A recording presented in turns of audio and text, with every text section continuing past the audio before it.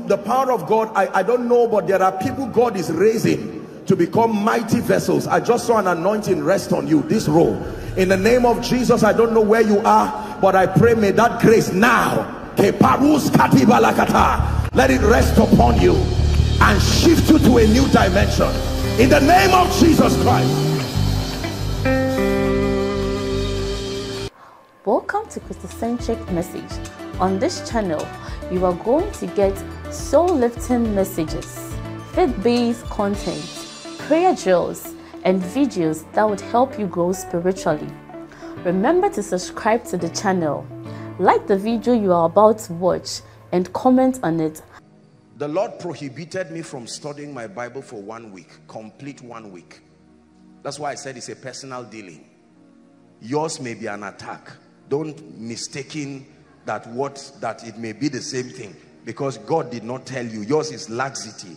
That's why I said it's a personalized dealings. Satan uses words to deceive men. Ye are clean through the word that I've spoken to you.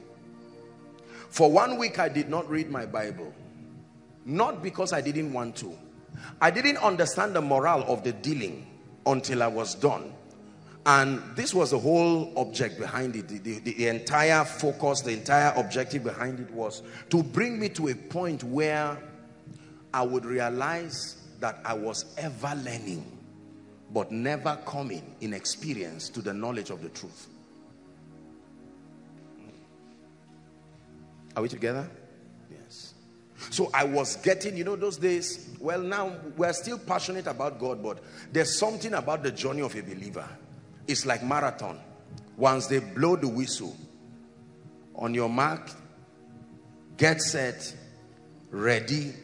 Sometimes you are even, your, your blood is as hot as whatever. Go! And you see someone running as if that is going to stop just at the door.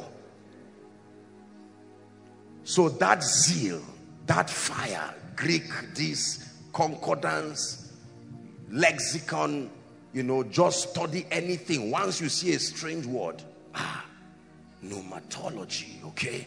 This is, I should add this very quickly. Hermeneutics, homiletics, ah. So we were just learning things that were just scattered revelation, spiritual, but scattered. And the rate of change versus the, the effort was not commensurate and it was a call for concern. And so God was trying to save me trouble. I would have been in big trouble now. Let me tell you why many Christians are angry and don't believe that others are using God's power entirely. I'll tell you why. They are aware of the effort that was put in to arrive to, to take one step. It's like they did a labor of five years. So when they see you soaring in the spirit they say something is wrong. Something is wrong I started learning 10 years, 7 years, 5 years ago and you just came and right now in 2 years you are in this level. Not so. One of the greatest blessings that can happen to you is that when you are born again, God plants you under an anointing and plants you under a grace that sustains enough spiritual intelligence, enough balance. Huh? Spiritual intelligence and balance. These two things. Grace and truth.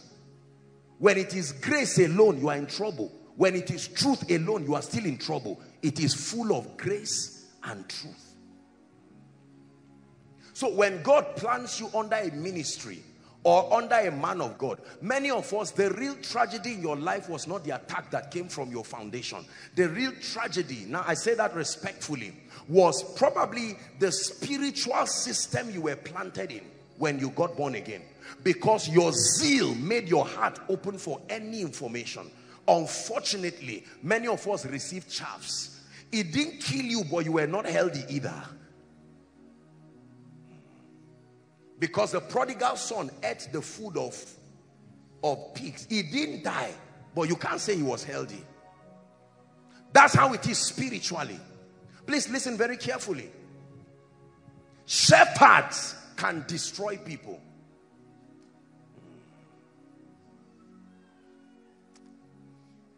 How did Moses find a wife?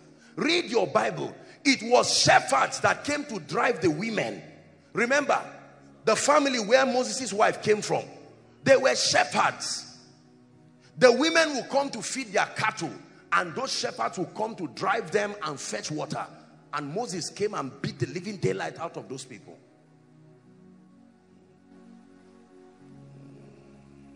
It is important. There are shepherds that watch their flock by night. But there are shepherds that kill their flocks. He said, I will give you pastors after my own heart. Please listen to this because tomorrow you'll be the one mentoring a lot of people. Spiritual growth is a school.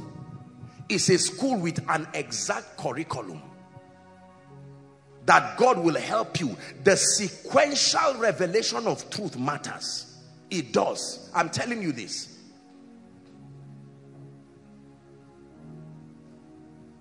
There are many things we know about God that are wrong. There are many things we don't know about God that should be known.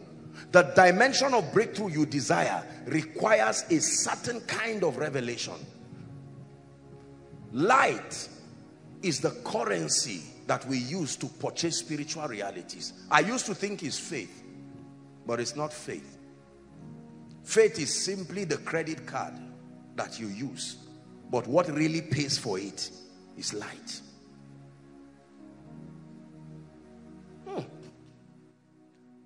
It, from the abundance of these things, then you will know who God is. And you can worship him in spirit and in truth. There are things you can know about God that makes you unbendable, immovable. Nobody comes to sway you to and fro with every wind of doctrine and the sleight of men wherein they lie to deceive the bible says it's important now before i get to my sermon this is this i can't believe that i've still not started preaching. Look at these people. Please start. Look at these people. Which dimension of your spiritual life has not been arranged accurately. There are people who are not even born again because you check the truths that they have. Salvation is not part of it. They never got born again. They were just born in a family. Just because you were not in a beer parlor does not mean you are safe. So they started like that. They started playing keyboard in church like this guy is playing now. From keyboard, he became um, assistant music director. Are you seeing that now? From assistant music director, you became music director. From music director, you became deacon. Huh? Yes. From deacon, they open a branch just when you were graduating and they call you pastor, whoever you are. Now, the truth is that whether or not you think you have grown, according to God's order, there is a pattern. God is a God of patterns. He's not just a God of motion. He's a God of patterns. How you move and how you grow will determine whether you will become that which is in his heart. Now, this is interesting thing about God. Even when you think you have been walking with God, like we arrogantly say, for 15 years, the day he reveals himself to you, he will rearrange your life back. And sometimes when he he rearranges your life by trying your works with fire it's in the bible. That means you can see a lot of achievements and the fire of his light will come and all that will be left is your true state that means god will say you men say you are in level 5 level 15 but really you are just at level 1 now you are at liberty to choose whether you will pay the price unashamedly to start properly with God or allow the ego that you have to just make you continue. Yes, Lord. Yes, Lord. You are the King. There is none other. Yes, Lord. Yes, Lord. Yes, Lord. Yes, Lord. Yes, Lord. You are the King. There is none other. Yes, Lord. Yes, Lord. Yes. Lord. So men can call you MOG. Men can call you deacon. Men can call you this and that. But the truth is that if you are not growing and building according to pattern, I hate to be a bearer of bad news. But let me tell you, you are only wasting your time. When God comes, he never continues from where, what you were doing. Look at what happened to Abraham. When he met Abraham at Ur of the Chaldeans, this was his instruction. Abraham, come out of thy father's house and out of thy kindred. I hope you know at that time, Abraham was not a failure. At least he had some results. He had 200 plus servants. He had cattle. He had a number of things. And said, Abraham, don't think I'm coming to continue from there. I will start with you again. Let's start that journey.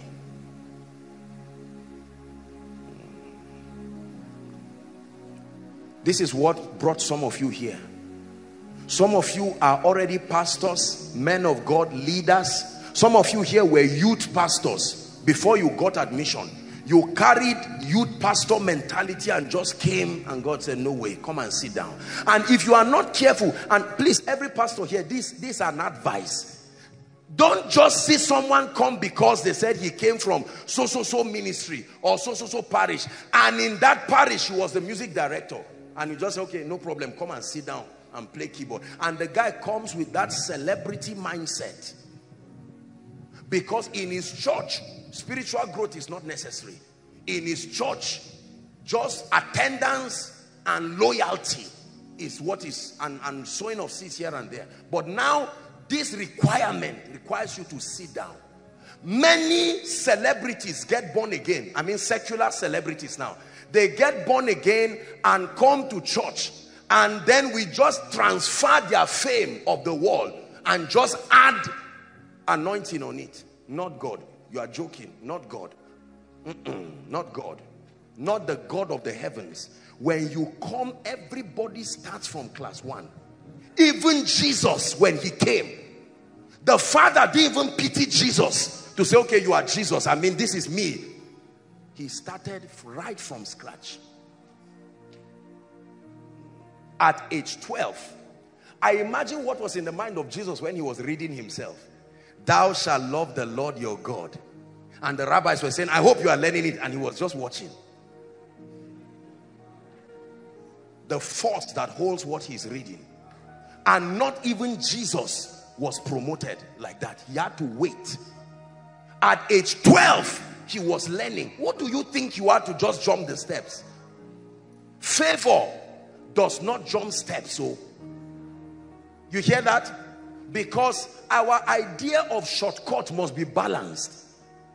Favor is shortcut, yes but it is not shortcut to alienate you from information that you hear favor is a system that was designed to help you because men do not start life in an ideal way please listen if i was teaching our precious school of ministry students the graph of life yesterday the good old graph of life if you are not part of school of ministry join even if it's just because of that if you don't change after that teaching I don't know what will change you in this life again.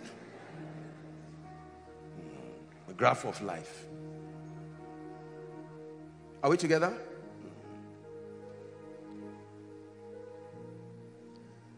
If I get born again 40 years, how many of you know that I'm blessed, but that's a disadvantage with respect to earthly time?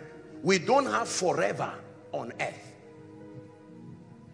Now, I got born again 40 years and someone got born again at age three, who has more advantage than the other? And don't say we are all equal. You are not equal. This guy has time. Time. At age three, born again. At age four, filled with the Holy Ghost. At age five, being mentored by a visionary father. When that child becomes 12, he is now you of 70 at age 12 now listen, let me show you, listen, listen, don't just laugh. Let me show you the relevance of things like mercy, favor. These things are not just random things.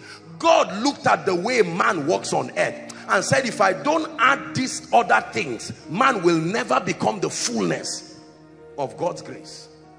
So here and there, he interjects your walk with life with these acts of his benevolence to help you. This is where things like favor are important. If you don't have favor in life, you, you will succeed. The problem is you only succeed if your life is ideal. Nobody's life is ideal, including Jesus.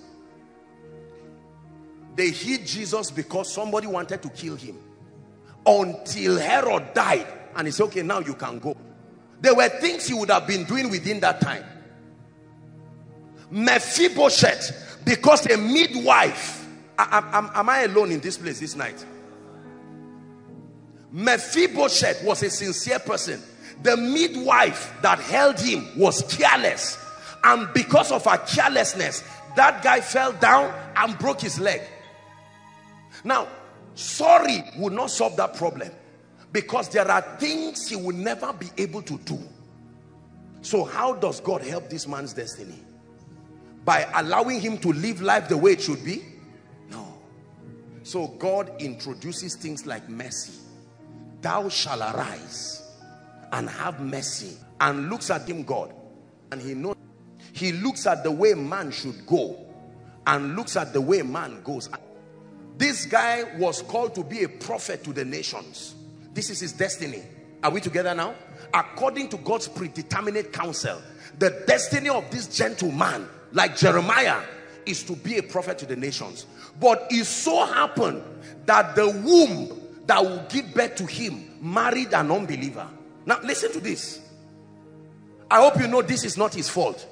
It's just that the woman that should marry him because she didn't have enlightenment or she was deceived or misled now got married to a non-Christian. You, you, you get what I'm saying? Now this guy, according to the blueprint of his life, he should have finished his assignment at 70 if he starts his journey at 1. But because of what he has to fight, an extra battle that was not in the original plan is now here. And that battle is the battle of grafting him out of this family first. And listen to me.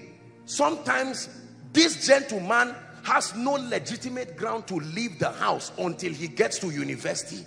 So his destiny will have to wait till what, what age do you get to university? 17. This guy has to wait for 17 years. Are you getting the point now? Because according to God's blueprint, that is the safest way for him to live. If he lives in a way that they, they can kill him, and God, for the sake of his destiny, will not allow him that. Now, while he's waiting for that 17 years, his brain is not closed. He's learning a lot of things he must undo. Because you cannot be in my house and not serve my God. So while he's bowing down and doing all of these things, heaven is bleeding. Because according to the blueprint, by age five, this guy should already be seeing visions. But now, the, and Satan, when he peeps there, Satan will make sure that the clerics isolate this guy and further indoctrinate him to complicate destiny. I show you why it's dangerous. It's not enough to be saved. Where you are planted, can determine how you grow. Please, parents, let me tell you something. And even those who have children now, don't sit down and say it does not matter where they hear truth. It matters. Sit down waste your child's time hearing nonsense, wasting his time. At the end of it, you will find out that there is no sequential growth. Please listen. I'm telling you, I'm teaching something entirely different. This is my note. I've not even started. But if this is how the Holy Ghost wants it this night, I think it, this is this is a deep and mature teaching. I'm, I'm correcting the reason why the Christian experience of many believers is just, is just a buffet of frustrations. I agree that an area or two of your life may be trusting, be needing the hand of God. But when every area fails, something is wrong. This one is no longer the law of process. Apostle, nothing is working in my life. I've been a Christian from 2001. I tell you where the problem is. I tell you. And the problem is not only an attack. An attack looks like the obvious reason. But I'm telling you now, there is no prophet, no pastor, no apostle that will just pray over the issue of attack alone and then your life changes. No. You want holistic growth, we must do the diagnosis tonight to know what is wrong. Back to my story. This gentleman is loitering somewhere very far from God and far from destiny. Are we together? Now he gets to the university after 17 years. 17 years has been wasted. When he gets there now, the devil would try to do all kinds of things. For instance, the devil can ensure that his first CGPA is 1.2. 1 point what? Who will listen to God under that kind of condition? The pressure from life will make him say, do you know what? Let me find a fellowship where in 30 minutes they finished. Now, it doesn't mean, please, I hope you understand that I'm not being sarcastic to any the fire on this guy's destiny is being quenched because you you call it circumstances but these are intentional orchestrations and then this gentleman one day that's why inviting people to the house of God if you are sure of the quality of what you are receiving then it is evil to not invite people. This is not the issue of evangelism. This this you being an extension of God's mercy. Because the person you will be inviting you think you are just inviting you don't know you are acting prophecy. Imagine that this guy now is in Zaria in this situation imagine what heaven will do to you as the person who holds his hand to insist he comes to koinonia. You thought you just invited a man but you literally shifted a destiny. Literally. Because of one encounter. Are you with me this night now? It's very important. Some of you are now seeing. Now, do you know that heaven will rejoice when this gentleman comes? You have invited five, six people, but all of them don't have the same destiny. This guy ordained to be a prophet to the nations. Did you really invite one person? How many people did you invite?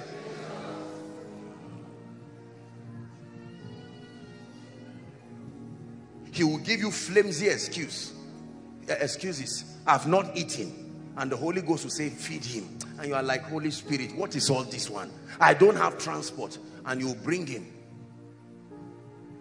now imagine that you bring him for koinonia and then i'm not ready working for others the moment you enter except your feet something must happen and reduce you back to look like your parents You can choose to believe what I'm saying. No problem. I don't know who prayed for you before you arrived. But let me tell you sincerely. If you know that there was no salvation in your past, please hear what I'm saying seriously and pay attention to it. Altars are wicked. They are like time. Nothing can fight them. They will move slowly unperturbed by your pride until they catch up with you. Hallelujah. I heard of a man of God that bought truck, this Dangote truck. They kept advising him to diversify. And that guy carried all his money. I don't know how much that truck is, but it's so expensive. The moment the person bought that truck, I, I, he was coming along, I think Kogi or so, the road. That was how that thing just capsized. It burnt in a way, burnt everything inside and burnt everything about that man. And the guy sat down and was almost killing himself.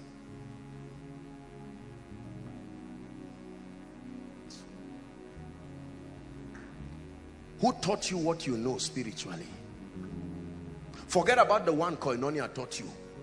What is it resting upon?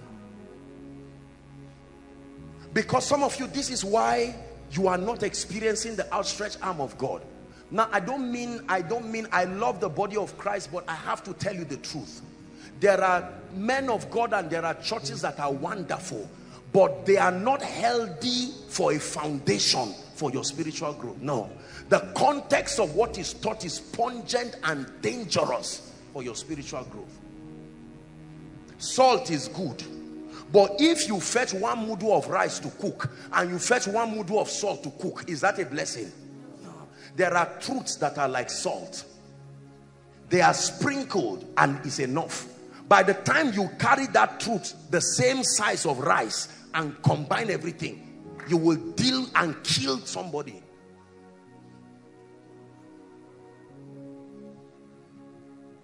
There are people, the sermons they had is why they never saw the necessity of prayer in their spiritual walk. Are we together? They came from a highly intellectual family. And you see people just laugh and say demons. The only demon you have is demon in your brain and your mind. And the devil says, wow, this is wonderful. For the child who comes from the church, the house of an evangelist and a prayer warrior, that is a correct sermon. But for you who is coming from a foundation where they wrote your name, when they gave birth to you, while you were a baby, your head was inside water and they were speaking nonsense to your destiny and you believe you will just casually say in Jesus name I'm born again. No sir. The same way you don't say casually money come and it comes. There are systems and there are principles.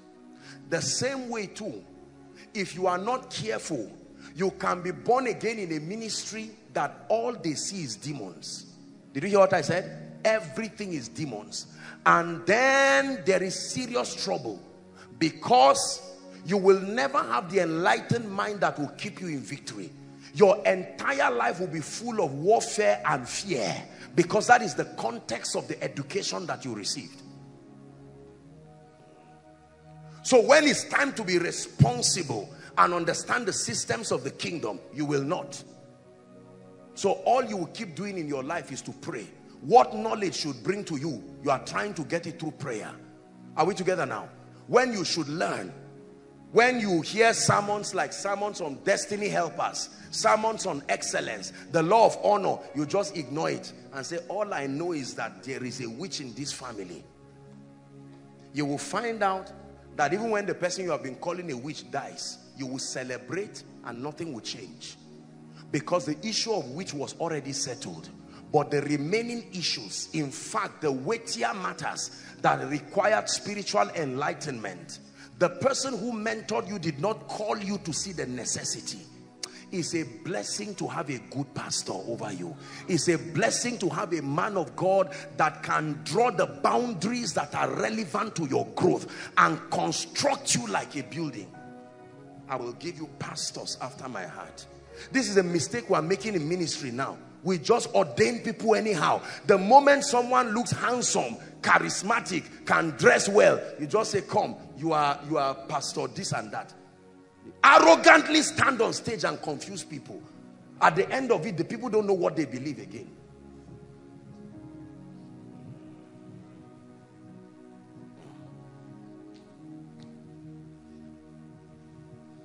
It's nine o'clock. Let's pray. We can't hear this kind of thing and just round up. We are going to pray seriously first and foremost hold the hands of someone and blast in tongues first to prepare your spirit. Find a neighbor and pray seriously.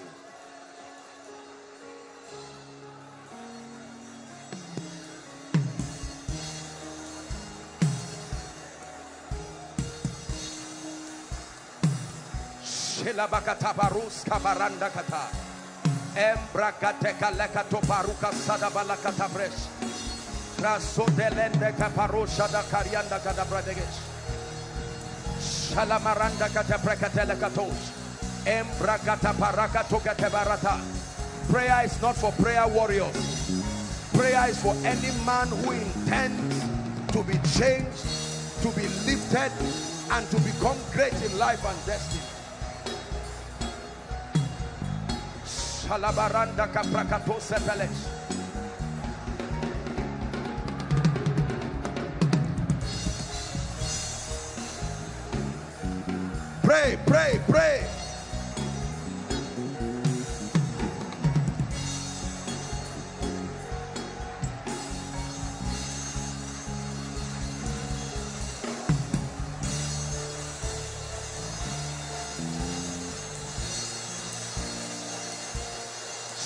Jambrakata.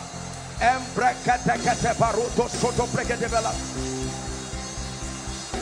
My Christian experience must be fruitful. I must bear fruit. I must bear fruit. I must bear fruits in my life.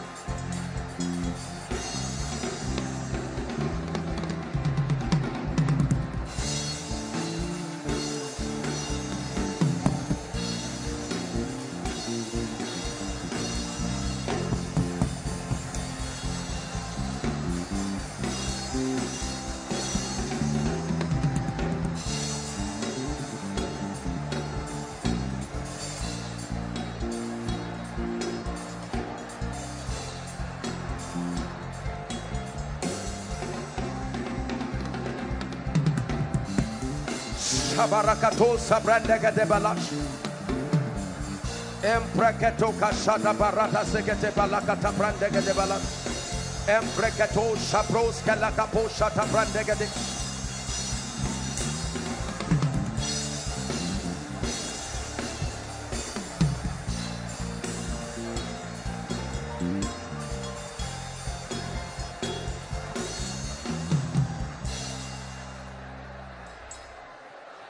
Hallelujah.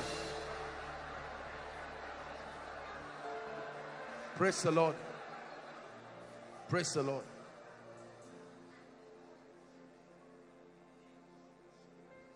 You are going to pray this night for your destiny.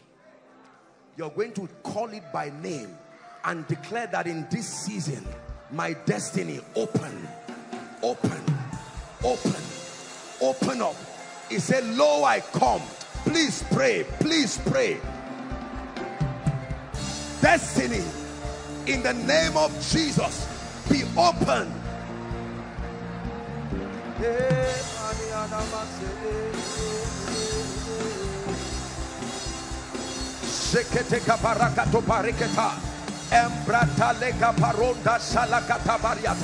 My assignment, my destiny, open up in the name of Jesus.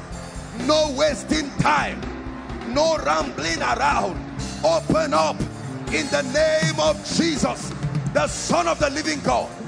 Lo, I come in the volume of the book as it is written of me. Outside, are you praying? Make sure you are praying from the depth of your heart. Shabarakata. Emprakato shekete lekete kete kete kete. Emprakato soto pakurakata pariakata.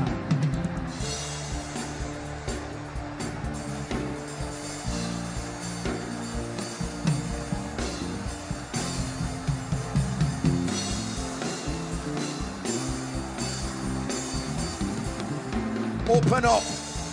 Open up. Open up. In the name of Jesus. Open up. Open up. Open up. In the name of Jesus. Open up.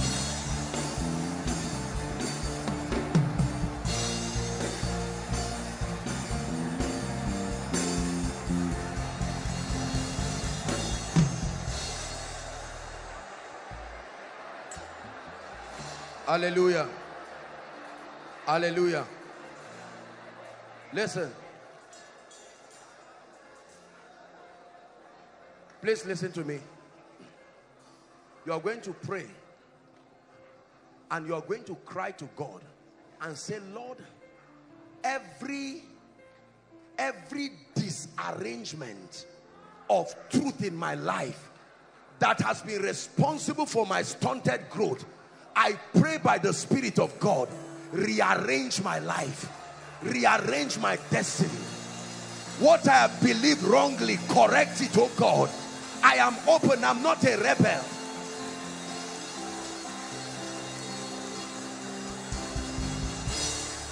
Let your emphasis be my emphasis. Pray.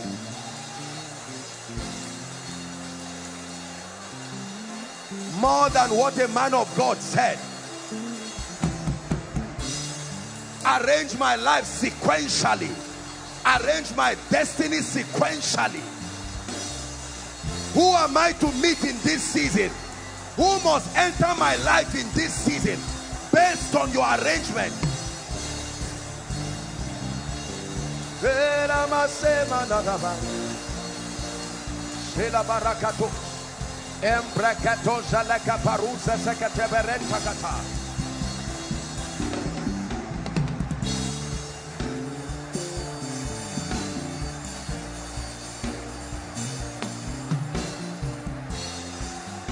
Hallelujah. Listen. Listen. Please don't think you are, you are wasting your time. You are praying seriously. Now, I say this with all humility. Listen. Please listen. Imagine if till now I was still trying to hear God concerning koinonia. Are you seeing now? Imagine there are people according to the blueprint of your assignment. You are not supposed to be looking for money now. You are supposed to have it already because the next phase of your life is dependent on that supply. There are people right now at according to God's blueprint, the level of prophetic you should be operating in. It is required for the kind of assignment, but because you are still here, God cannot move with you. Hear me. Hear me. There are ladies, according to God's blueprint, you should be ready for marriage now based on the sequence of your destiny. But it's right now you are getting serious with your life. Hear me. Hear me. There are some of you according to the sequence of destiny. Is you and your elder brother that should be standing as pillars. But the devil killed your brother from birth. That means you are carrying the burden of two people. You need your grace plus the grace that will come on you else.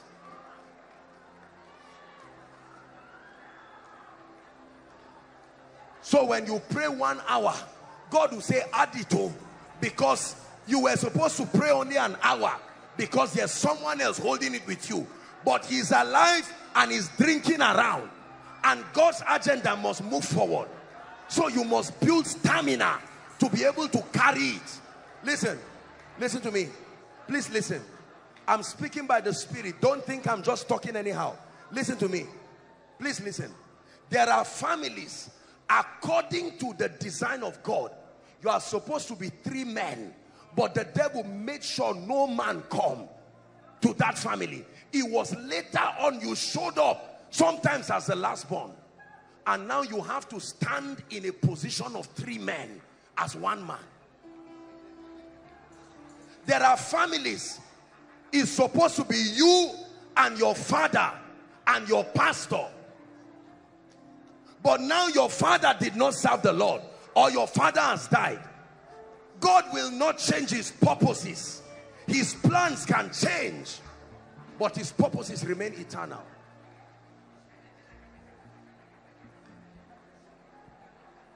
Listen, listen.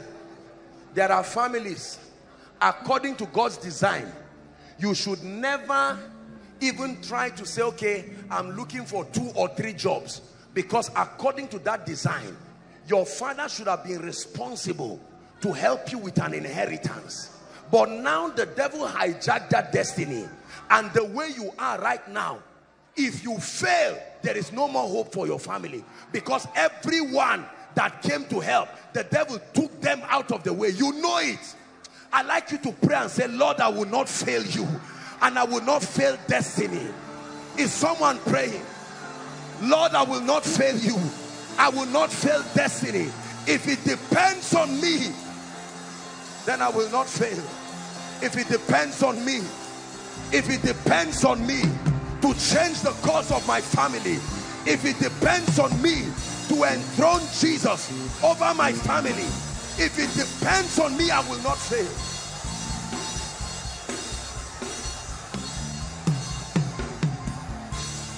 Someone pray. Pray with the picture of your loved ones in your mind. Pray with the picture of your children on your mind. Pray with the picture of your destiny on your mind.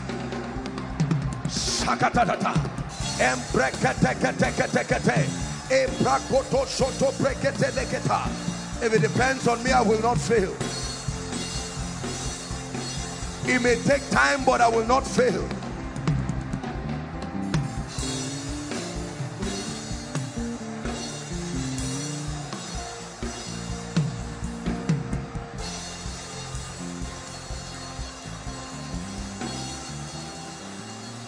Hallelujah.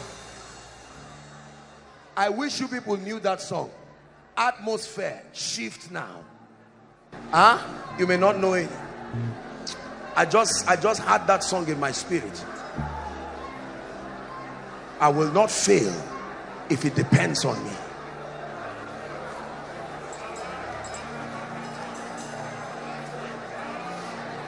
I think about my life with all humility and I think about the destinies that would have gone down even if I were born again and I refuse to answer the call. Listen, the next prayer point, we are praying. Listen, Spirit of the living God, if I am found anywhere that my destiny does not require, turn me around.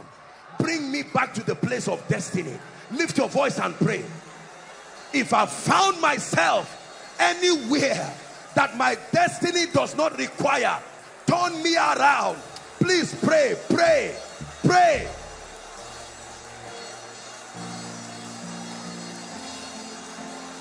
Align me to destiny. Align me to destiny.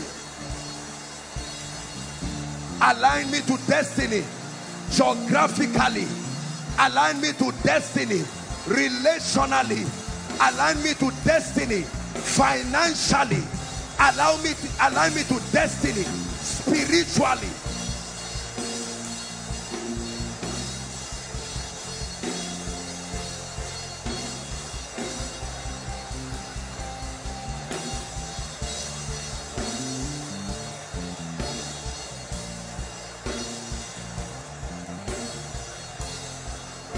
Align me to destiny, oh God.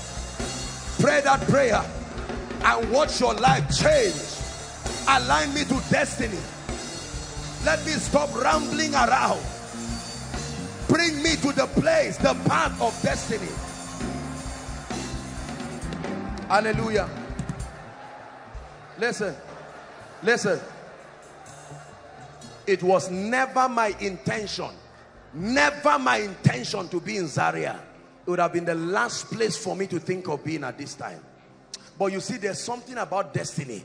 There are people when the devil wants to waste their time, they will get American visa and travel and roam around America. Just because you are making some money does not mean you are in destiny. Look at how God brought some of you here. God carried you from different places. It's destiny Forget about the story that brought you.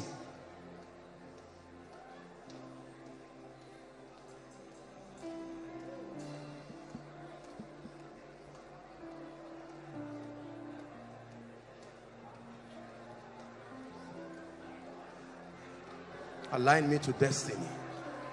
Let me not find, listen, let me tell you this. There are people, when the devil wants to destroy their destiny, they will receive certain kinds of promotions. You would think uh, is promotion is not wrong in itself, but they will receive a promotion and become a CEO. And that CEO will not allow them do and be certain things. Life is more than money. Oh. Life is more than fame. Are we together? Next prayer point. Lord, where am I supposed to have been in destiny that I am not? I pray by the Spirit in this season, take me there. Take me there. I should not be at this level in ministry, financially, maritally, spiritually. Pray by your spirit. Bring acceleration to my life. There is no more time to waste. The voice of my generation is crying. Speedy manifestation, oh God, of all that pertains to my destiny in this season.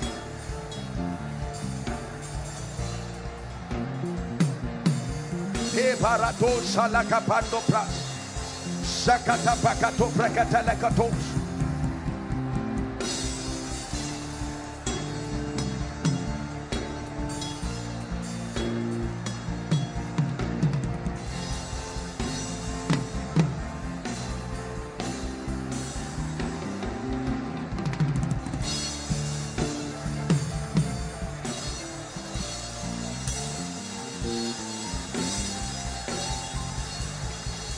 Hallelujah.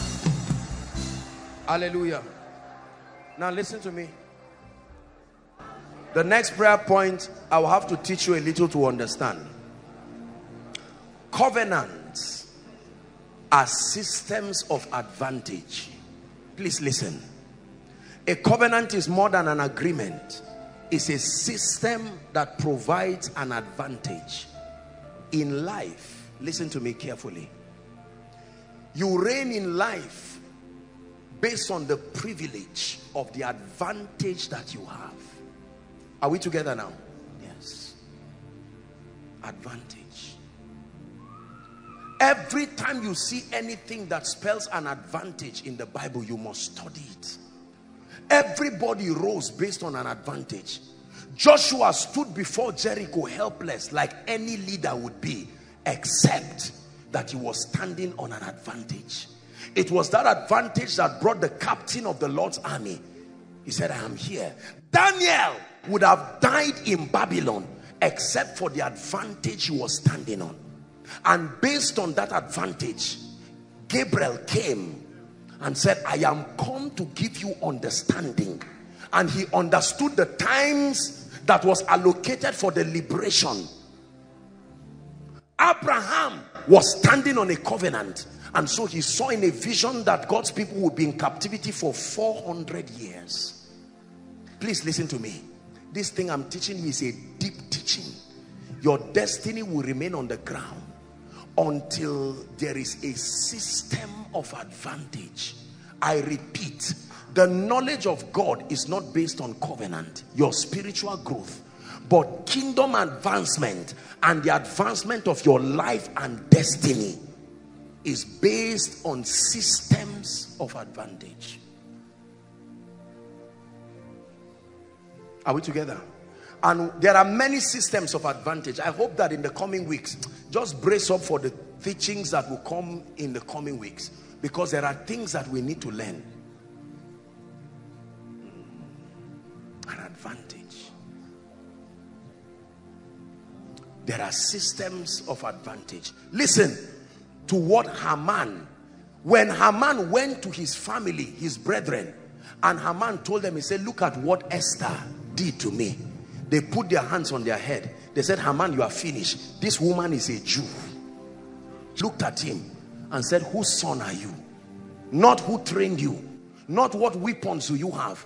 I need to know what advantage you are carrying to stand before Goliath. When he stood before Goliath Goliath said am I a dog? Am I a dog that you stand before me and come with a sling? Are you trying to catch a goat? And David said, you come to me with your spears and your bows, but I come to you, listen, in a name. Ah, I wish we could deal with this. Because you see, a name in the spirit is a revelation of a dimension of God. God's dimensions are stored in his names. I came with a name. Are we together now? And foolish Goliath, instead of him to ask, are you a Jew? He kept quiet. What do you think made Jericho to close their gate? They said, who are the guys coming to attack us? The moment they said they were Jews, say, close the gate. Close it quickly. We know these guys. There is a track record. There is a strange God that works with them. Ah. There are men who there are things they are standing on. And based on those systems of advantage, I tell you, they can fail in other things, not finances. No. They can make the most stupid financial decisions. Yet what they stand upon will bail them out.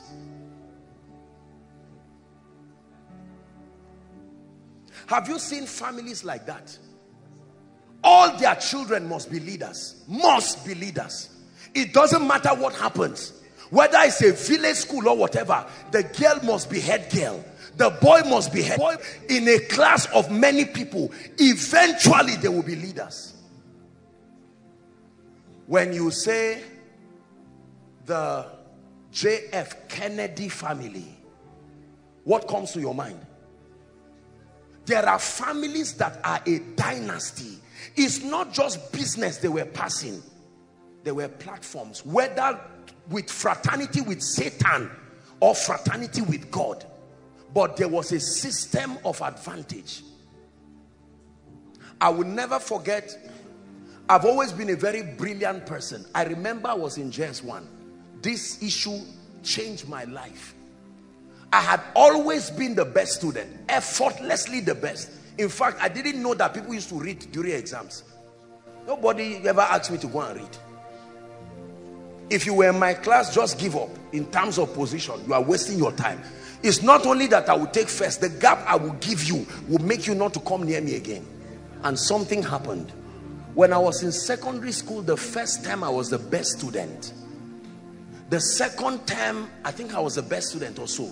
But the third term, the guy that took third before, the parents moved to living faith. Listen, oh, they moved to living faith. It didn't reach three months. They did anointing service for that boy straight when he came and wrote exams when that now this is not about first or second i'm just using it to explain something when the results came out and i looked at my result i looked at the guy. It, it wasn't you know i didn't know what i knew. Now you can imagine a small boy. I said no something is wrong. Something has to be wrong. Because my best performance was this point. Something has to be wrong. That guy was his average was just with like five marks. I said no there has to be a recalculation. Something is wrong and then i met him. I said in the spirit of sportsmanship congratulations. And he laughed. He told me that they did anointing service for them in living faith. I said what is living faith? It was later when i understood. I said ah! I was standing on my brain. He was standing on an altar. Listen sir let me do this. Come tell us your testimony now everybody stand and listen to this testimony go ahead um, I am a pastor. I was in Mubi before we got transferred to Abuja. Because of the distance and the financial constraint, we decided that my wife will not return back to school. So during uh, the last, uh, her second semester exam, she didn't go. And then we attended Koinonia, uh, the miracle service uh, last month. And then with the result that she should go back to school. When she returned to school, they uploaded their results. Lo and behold, she had results. And all of the results were A. I mean B. Hallelujah.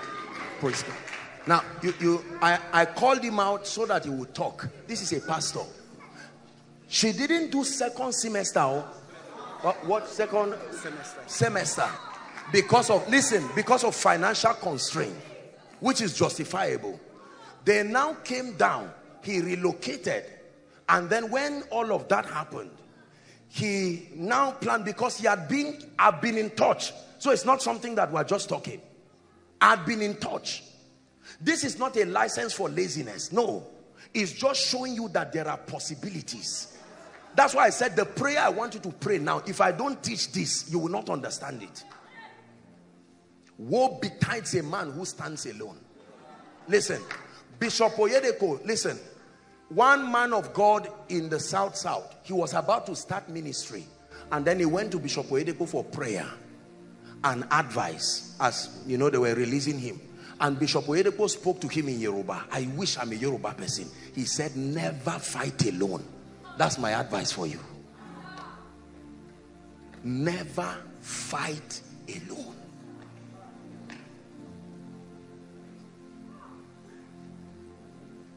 I show you why many people continue to fall victims in life. So the plan was that they will go back and then let the wife now register. Now that God has helped them things have started changing. I'm explaining the story for you. They now went and said okay let's see how far. As they printed results second semester result A and B parallel. That's what came out as the wife's result this man is a pastor. He has a congregation. He's a spiritual father to many. He will not come and mess up his integrity. And this is a father with a wife and children. Listen, it is not to endorse laziness, but it's to let you know that this kingdom is a compendium of possibilities, limited only by your spiritual understanding. God bless you, sir.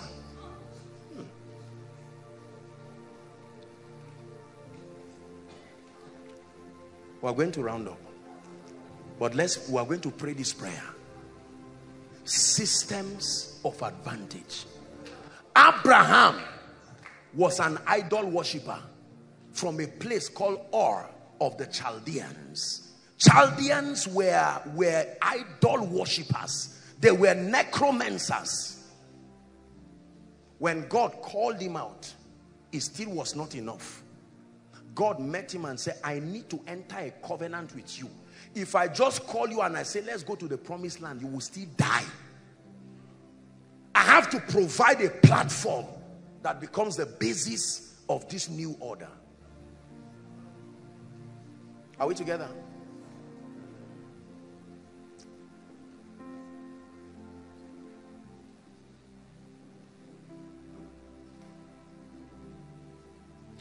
Many of you do not know that the secret to the future, you've heard me say it, is in the past.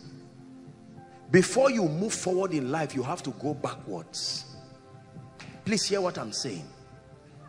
All these names that we have given this phenomena in life, they are, whether you call it failure at the edge of breakthrough, whether you call it spirit husband, whether you call it spirit wife, whether you call it rise and fall all those are invented names. That's to tell you many people are having the same experience. That's why they could receive it and understand. The teaching that I did the mystery of deliverance part 1 to 4 that message has delivered people until we stand before God to see how many people were delivered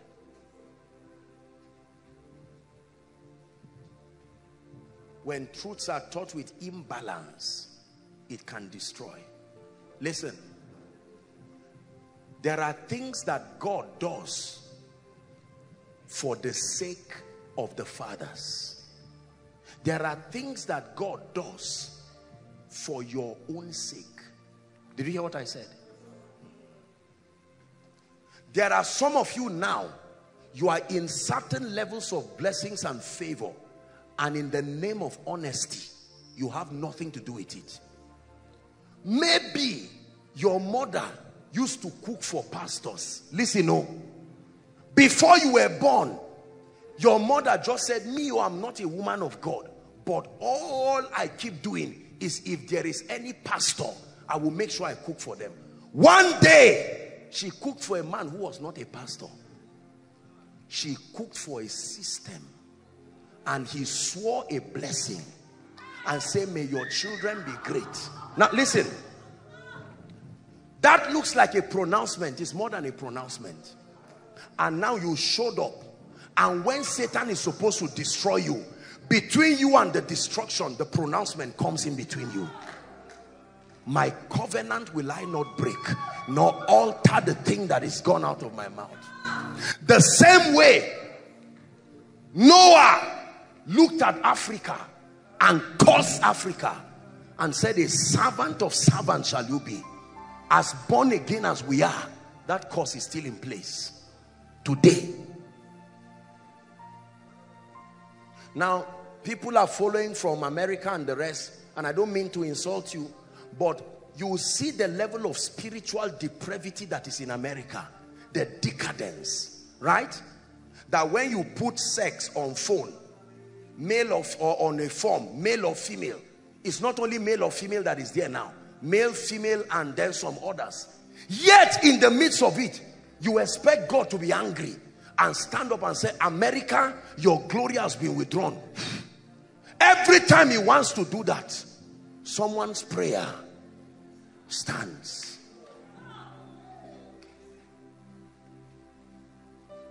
Every time the coming of Jesus was about to be delayed.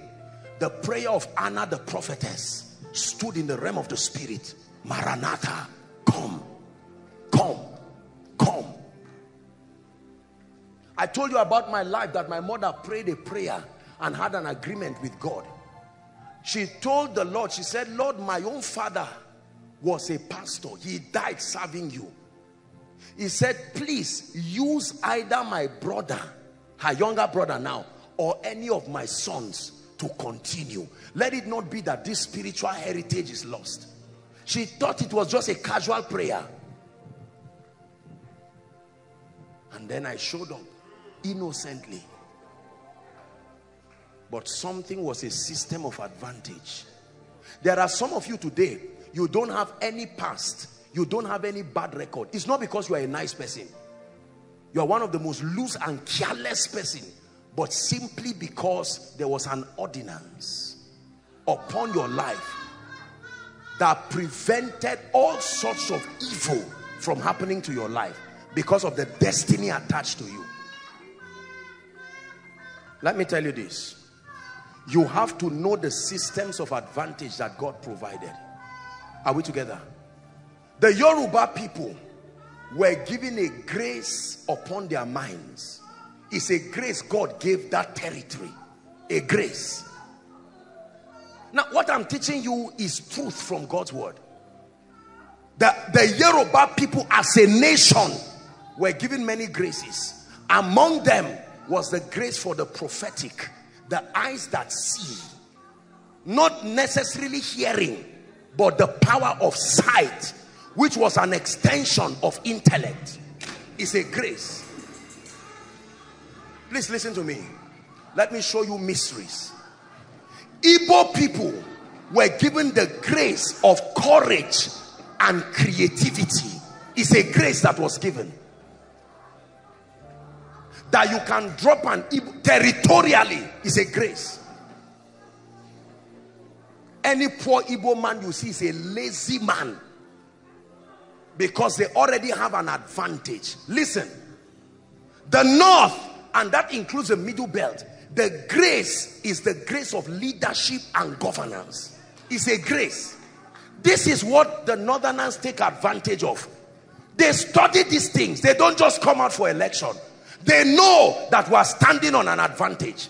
These are ordinances, my brothers and my sisters. In Mount Zion, the side of the north, the city of the great king.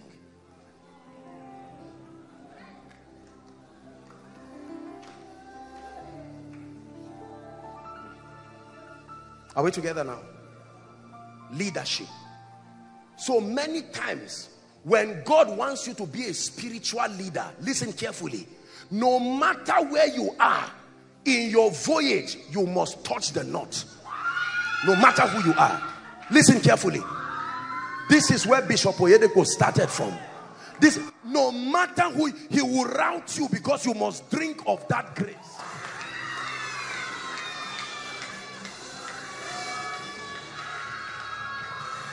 How do I explain this thing?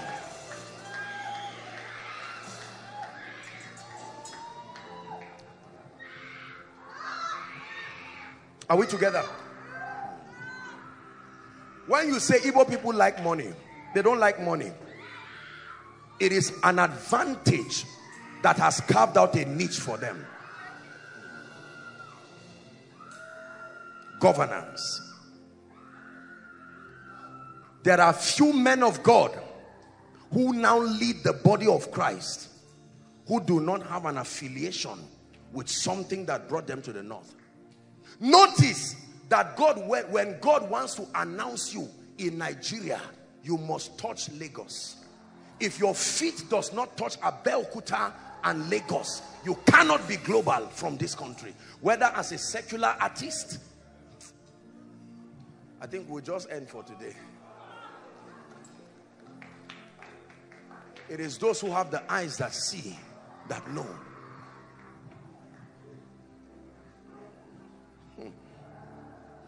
Many of you don't know why God, carried you and brought you to Zaria. It's not just because of koinonia. It is because these are the systems of God.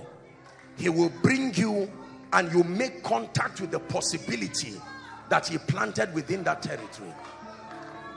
Lift your voice in one minute and say, Lord, the, the systems of advantage that you have provided for me, I walk into it.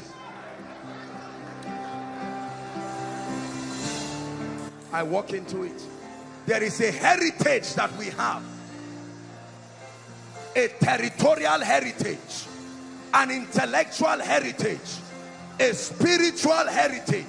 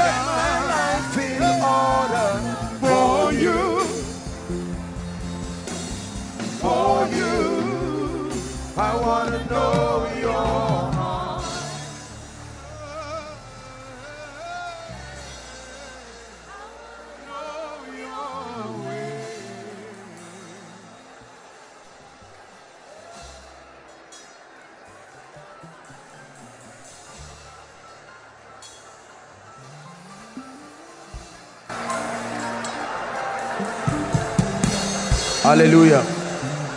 Listen. Please listen. We're rounding up. I want you to get tonight's teaching. Please. I'd like you to give tonight's teaching to anybody you find and tell him, please, please, listen. In fact, you can tell him it's a birthday gift from apostle to you. Take. Listen.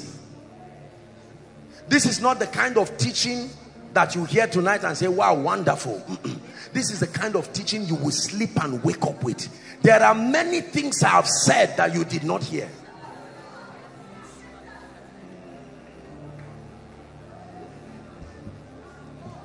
But I guarantee you that if you understand what I taught this night, there is no limit to your life. You can take advantage of everything around you. Every territory has an advantage. You can tap into the advantage that comes with it. Your church has an advantage. Your soil has an advantage. Your family has an advantage. I know your father was a herbalist and a priest, but that is the corrupted destiny of a prophet. There is still an advantage that can be seen and can be activated.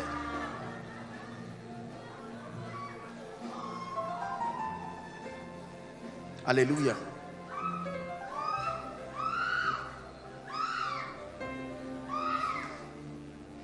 This is how we grow in the kingdom. We don't just grow by will. We don't just grow by luck. Listen, let me tell you this. This night, I just chose to show you these are the things that work in the lives of extraordinary people. It's not just that things are working anyhow. No. You see all this anointing, the power of God breaking out anyhow. It's not. There are systems of advantage.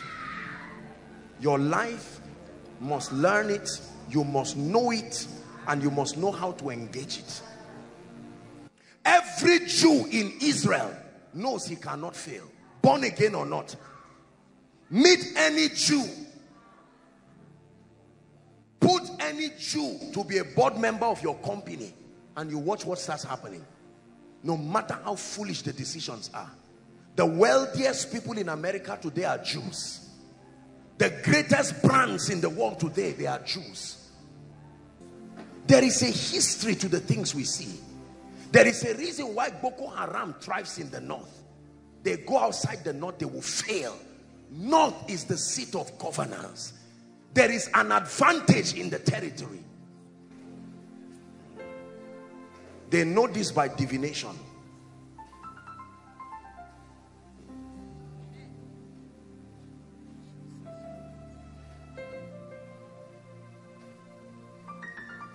The east is always a place associated with wisdom. The magi, wise men came from the east. It's true.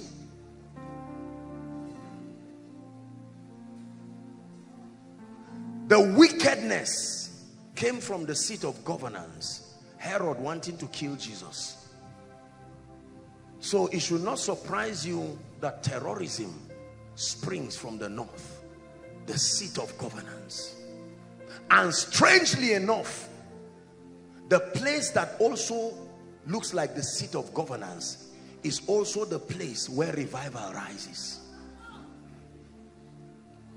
Hmm.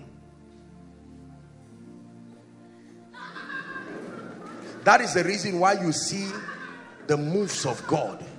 Ministries like Koinonia. All these things are not, they are not guessings. They are pieces of a divine puzzle.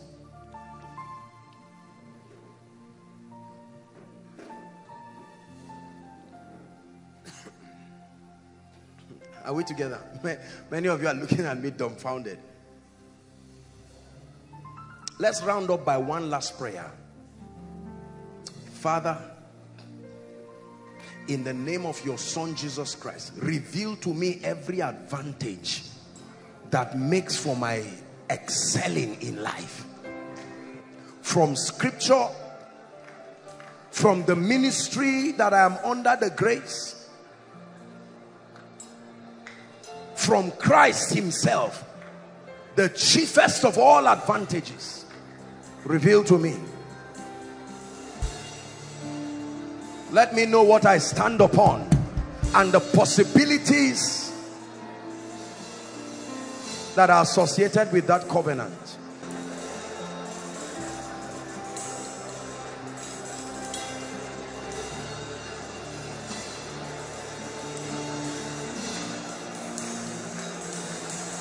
Please pray.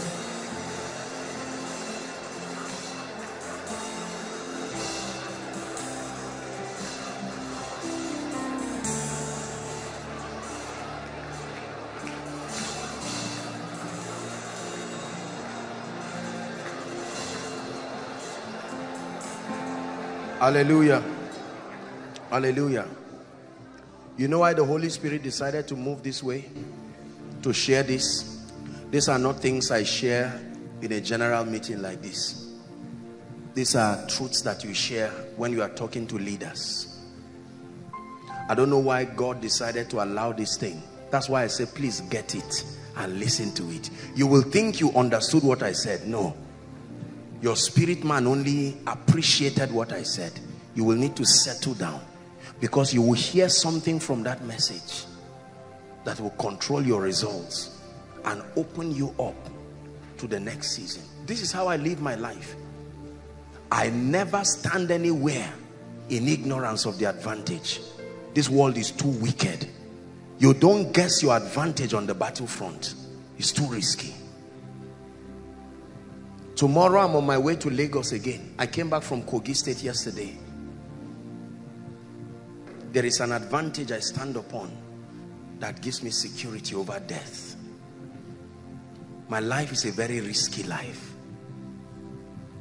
If you live this kind of life and this kind of schedule and all you say is, ah, I know God will protect us, one day you will land in trouble. I am a giver as a person is both an office, a hobby, a desire, and a responsibility. And I know that the way I give is not recommended for an average person. I'm telling you this. You give that way, you will have problems with your wife, your husband, your children. That means there must be an advantage. This is more than financial intelligence there must be a system provided that can allow for that dimension of God to continue unhindered. My work schedule, if you do what I do for two weeks, you will have a health challenge. Sincerely, I'm telling you this.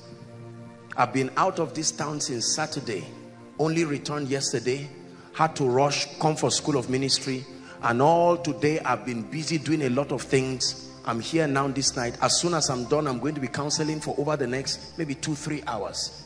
Heading back home, barely have time to sleep. Tomorrow, I'm heading to Lagos, straight into the morning session of a meeting. And yet Tuesday is my birthday. You live like that, something will happen to you. If I've not collapsed, it's not just because I'm wise. There is something you must stand on.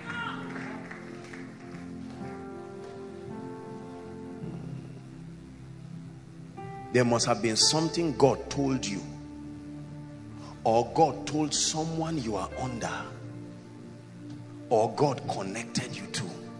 There has to be something.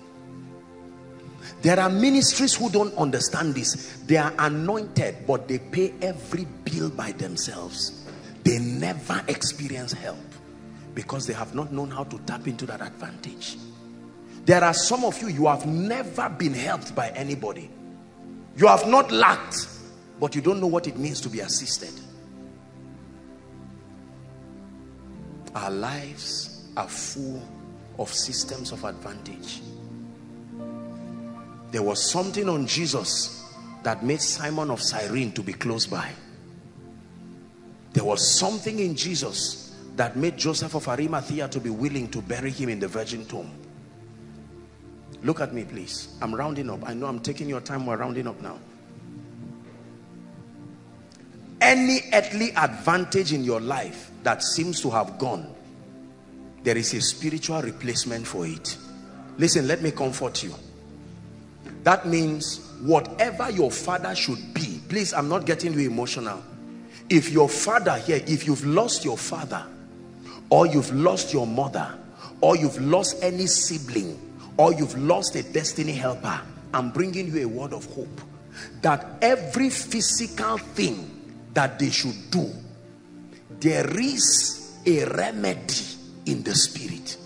If it does not happen to you, it is because you do not know this dimension of God. That means you are saying, I'm an orphan apostle and the only child, no father, no mother. There is something you can tap into the realm of the spirit that can be almost equal aside from the bodily connection of a father, a mother. Are we together now?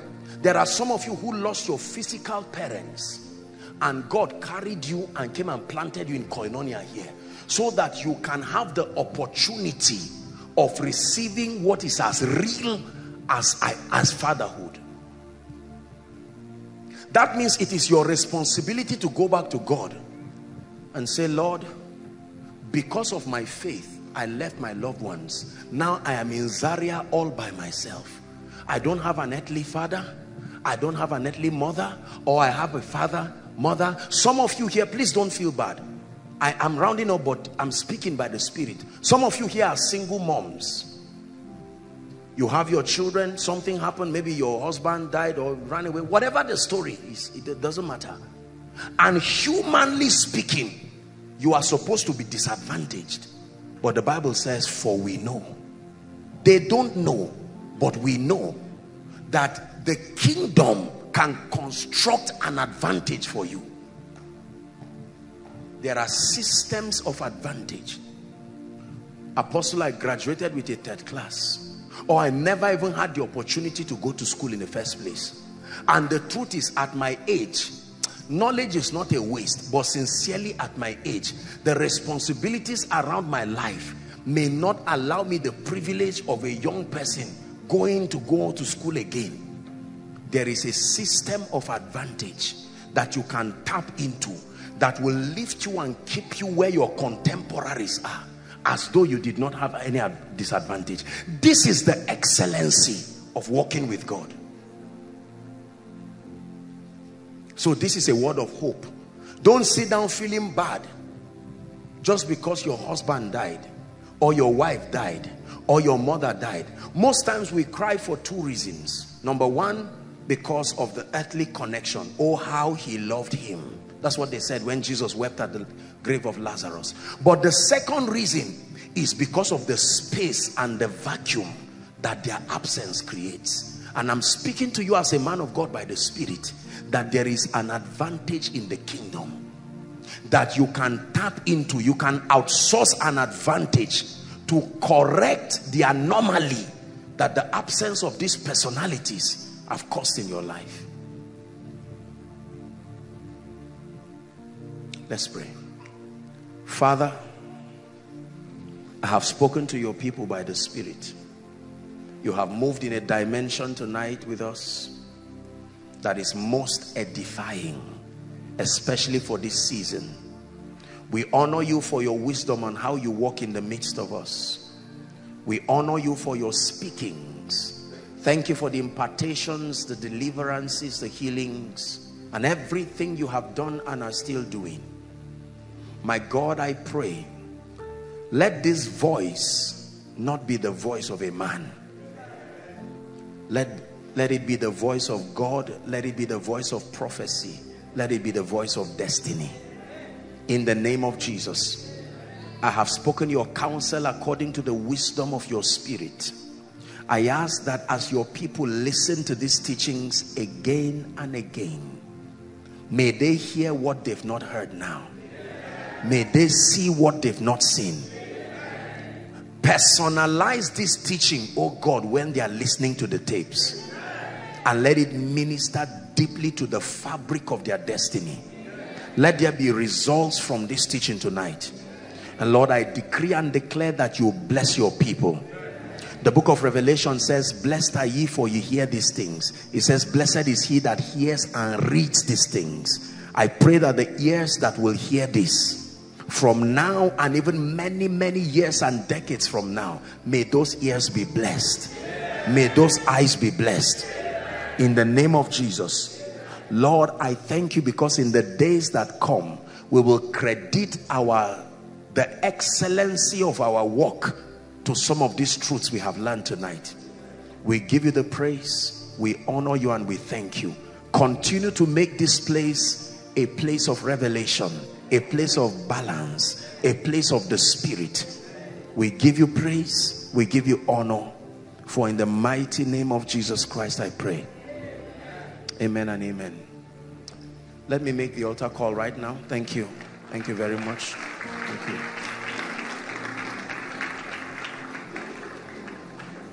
You are here and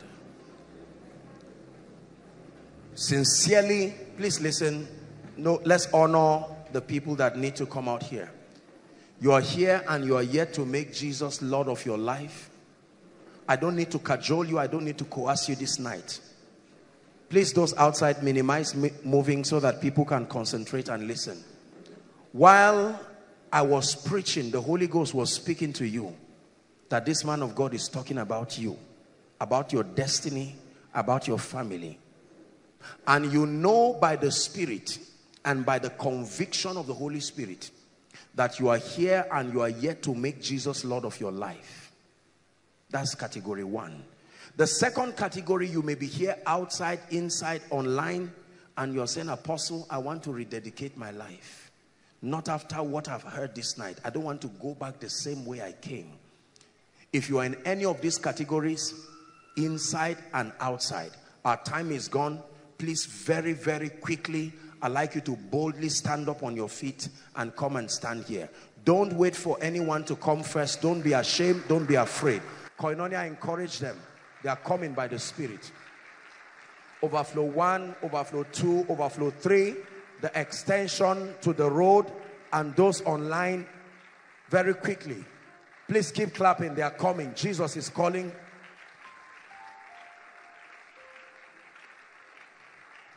Don't allow this moment pass you by. Coming out is not compulsory, but it is necessary for your destiny. Young and old, make your way, come quickly. Keep clapping. Motivate them as they come. If you're coming from outside, please hurry up. Please hurry up.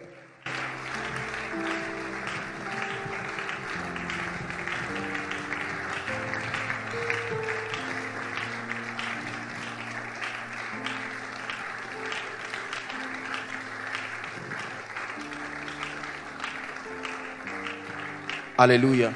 Praise the Lord. While those who are coming, God bless you.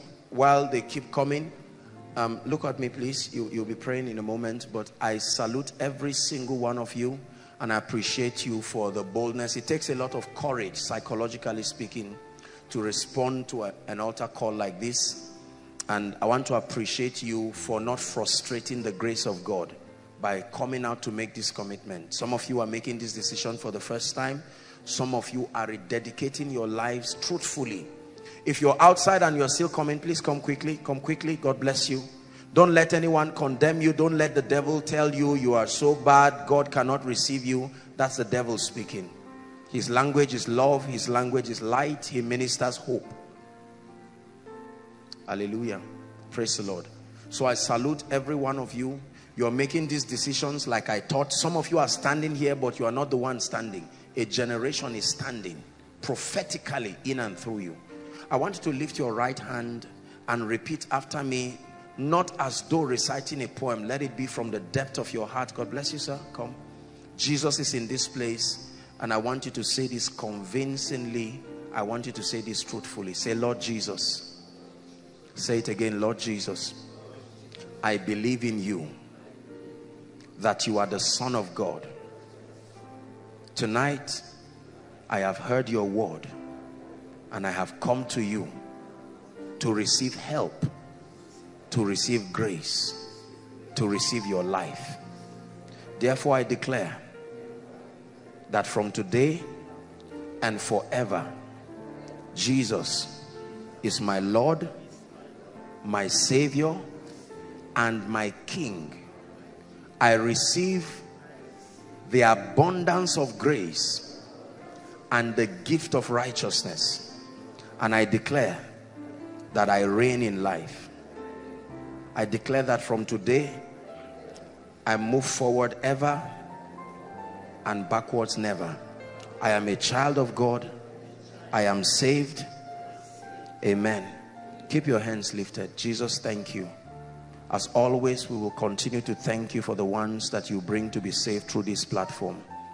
It's our joy to continue to see souls saved truly.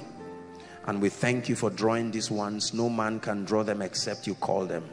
You have called them for the sake of your love for them, for the sake of their destinies. I pray that in the name that is above all names, the grace that is required to live victoriously in this kingdom May you receive that grace right now.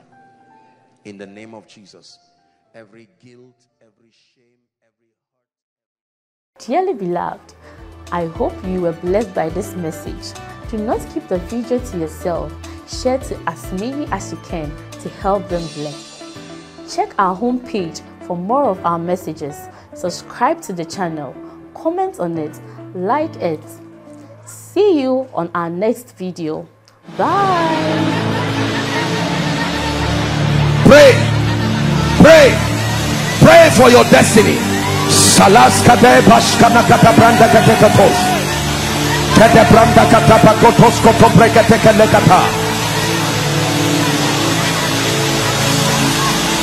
The phase of development.